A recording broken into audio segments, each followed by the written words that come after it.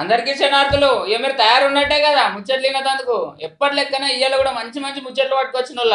చూద్దాం పర్రి. కరోనా పాడు రోగంలో ప్రపంచం మొత్తం అతలాకుతలమై ఇందులా ఎంతో మంది ఎన్నో తిప్పలవాడు అయితే మొత్తానికి అయితే మందు అయితే కనుగొన్నారు. మరి పానాలకు తగ్లీవ్ అయితే మందు ఇస్తారు కానీ మరి గట్లనే ఇలా పైసల రంగంలో తగ్లీవ్ అయిన వాళ్ళ కోసానికి ఇలా బడ్జెట్ అయితే సురువు చేస్తుర్రు. మరి ఆ బడ్జెట్ మరి టీకా లెక్క పనిచేస్తుందో మరి ఎట్లుంటుందో చూడాలని అంటున్నారు జనం. కరోనా దెబ్బకు దగ్గర దగ్గర ఇరవై నాలుగు శాతం వెనుకకు పోయినట్టు అయింది మన ఆర్థిక వ్యవస్థ. ఇక ఇప్పటి కూడా కుర్రాళ్ళకే మన దేశం బయటపడలేదని అంటున్నారు. ఇక మన దేశంలో మునిపే నిరుద్యోగ సమస్య ఎక్కువ ఇంకా మీదికెళ్ళి కోవిడ్ దెబ్బకు ఉన్న కొలువులు కూడా ఊసిపోయినాయి. ఇక దేశం అంతా ఒక విజయ వలయం లెక్క తయారైంది. ఇంకా మీదికెళ్ళి పక్కపొంటి పాలల పంచాయతీలు ఎక్కువ కాబట్టే. గదేనుల శైనులతో రోజు రోజుకు పంచాదులు ముద్ర పట్టే. అందుకోసానికి రక్షణ రంగానికి ఎక్కువ ఖర్చు పెట్టుడు అవసరం ఉండేటట్టు ఉన్నది మరి ఇటువంటి గట్టు కాలంలో సెంట్రల్ పైసల మంత్రి నిర్మలా సీతారామన్ మేడము గట్టి బడ్జెట్ వ్యాక్సిన్ ఎత్తారా ఏం కథ అని ఆలోచనలు చేస్తున్నారు ఎక్కడికక్కడ ఎన్నికలు ఉన్నాయని ఇట్లా ఏమన్నా వెనక ముందు అవుతారా అని అంటున్నారు.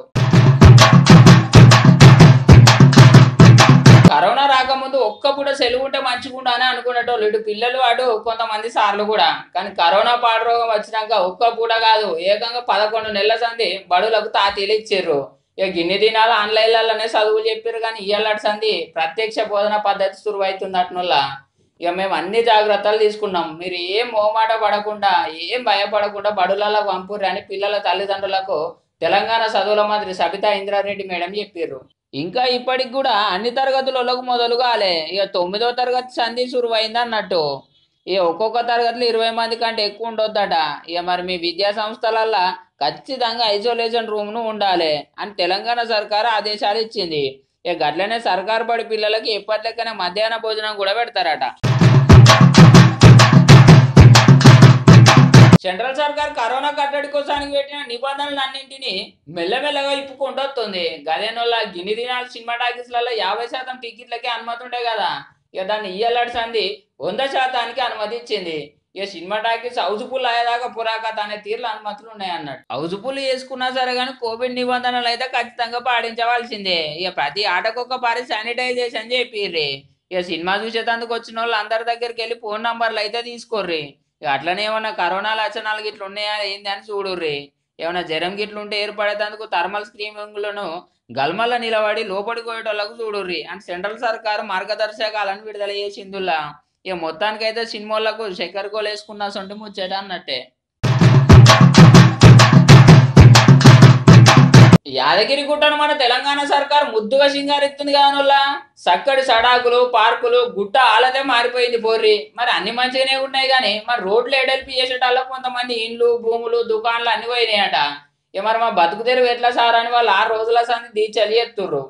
యాదగిరి గుట్టను అభివృద్ధి చేసేటందుకు రింగు రోడ్లు వేసిర్రు. ఇక రింగు రోడ్డు కోసానికి మా ఇండ్ల భూములను ఇండ్లను అన్ని ఇచ్చినాం.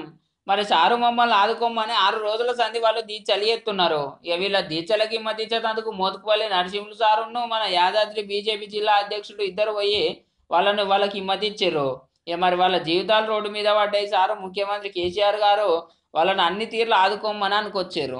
లక్ష్మీనరసింహస్వామి తప్పకుండా అతని సంగతి ఏందో రాజకీయం ఏందో ఆయన చూస్తాడని కూడా ఈ సందర్భంగా నేను తెలియజేస్తా ఉన్నా. మీకు అందరు కూడా ఈ సందర్భంగా చెప్తా ఉన్నా ఇదే మెట్ల మీద నేను పండుకొని ఆనాడు ఎంతో మందిని వేలాది మంది ఇక్కడ పండుకొని నేను ఒకటే చెప్పిన మిస్టర్ కేసీఆర్ దేశమంతా జిల్లాలు ప్రకటిస్తున్నావు కదా ఇది రెండో తిరుపతి కింద చెప్తున్నాం కదా నరసింహస్వామి జి- పేరు లేకుండా నువ్వు జిల్లాలు ప్రకటిస్తే నీ సంగతి ఏందో ఆయనే చూసుకుంటున్నా చెప్పిన తెల్లారి వరకల్లా జిల్లు వచ్చింది. యా- మరొకసారి సందర్భంగా